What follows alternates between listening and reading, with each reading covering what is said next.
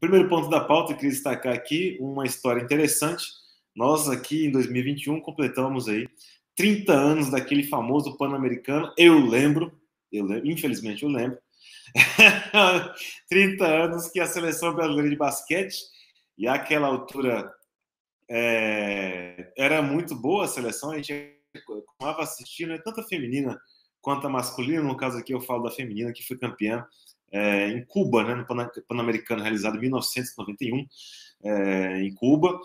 O próprio Fidel Castro participa aí da abertura dos Jogos e o mesmo homem entrega as medalhas para as brasileiras campeãs no basquete em 1991 contra as donas da casa, as cubanas, né, que também eram a expectativa era muito grande que elas fizessem a final, é, na verdade, contra as americanas. Né? Nós tínhamos Janete, Janete é, a Magic Paula, né?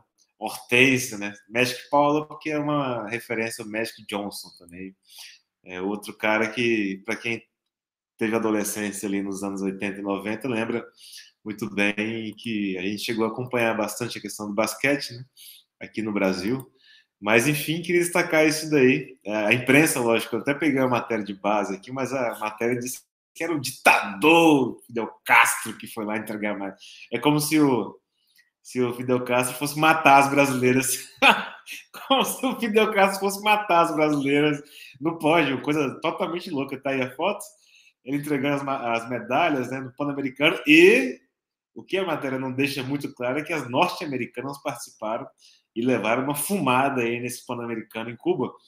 Fidel Castro entrega as medalhas com certa satisfação por ter perdido as brasileiras. Eu creio que ele ficou mais feliz em perder das brasileiras do que perder para os Estados Unidos no Pan-Americano realizado em Cuba. Eu destacaria, por fim, que Cuba termina em primeiro lugar, o, Pan-Americano, quer dizer, os cubanos batem aí a potência norte-americana, que participou também de, das modalidades, basquete, beisebol, judô, nado sincronizado, salto ornamental, taekwondo, tênis de mesa, vela, vôlei, enfim, boxe, tal como uma Olimpíada Paris é, tem.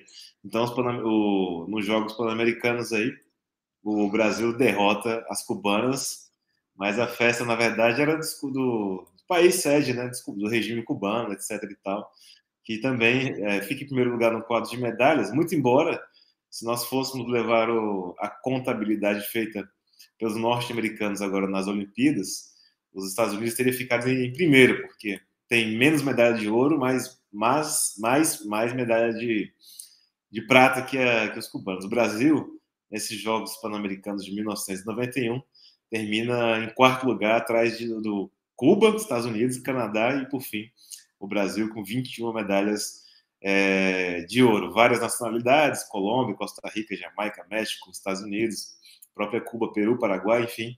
É, eu lembro eu lembro muito bem desse Pan-Americano de 91, mas pelo fato em si, né, do Fidel Castro e tal, eu acho até que em grande medida tem um pedaço da população que chegou a conhecer o regime cubano através desses jogos aí.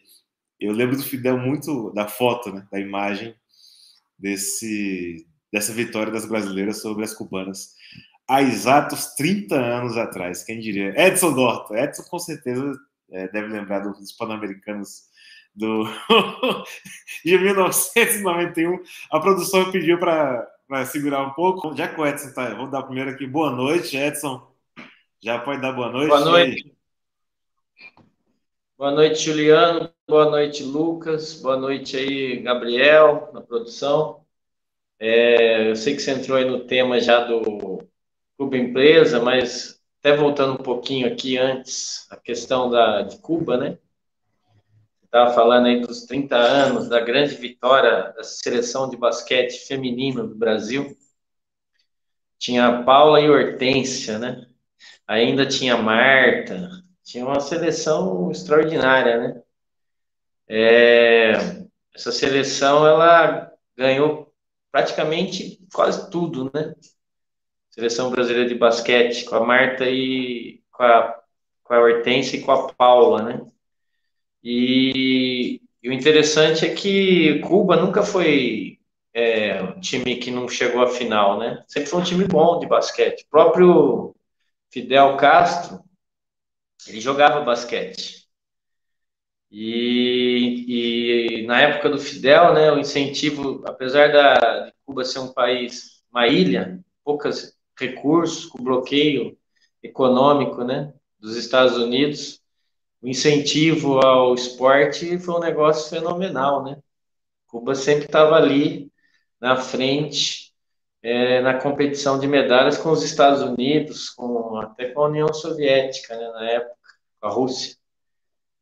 E, a, e o basquete era uma questão de princípio para o Fidel ganhar na, no próprios Jogos Americanos. Né? E naquele dia a Hortência desbancou de fazer cesta de três pontos. Do jeito que ela jogava, a bola caía. E aí, quando o Fidel Castro foi é, entregar a medalha para a Hortência, para a Paula também, né? Paula também, as duas. Acho que ele chegou a beijar o, as mãos dela, falando que era mãos de, de ouro, um negócio assim foi uma, um momento muito marcante no esporte brasileiro em relação ao basquete. Né? É uma, é uma data aí mesmo que a gente não deve esquecer nunca. E depois disso também, as gerações depois disso não teve mais nenhum time que chegou perto aí do que foi os times de basquete com a Paula e a Hortência.